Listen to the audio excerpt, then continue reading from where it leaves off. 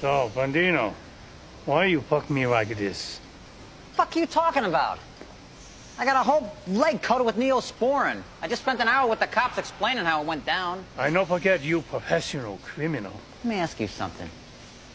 If I really wanted to rob you, you think I'd have to put up with this bullshit? Well, just so you know. I didn't take your truck. I lost my study guide, my fucking flashcards. Sick of this fucking prejudice against ex-cons. I never hire you if I don't need Tony Soprano for union. Not for him. I show you the fucking window.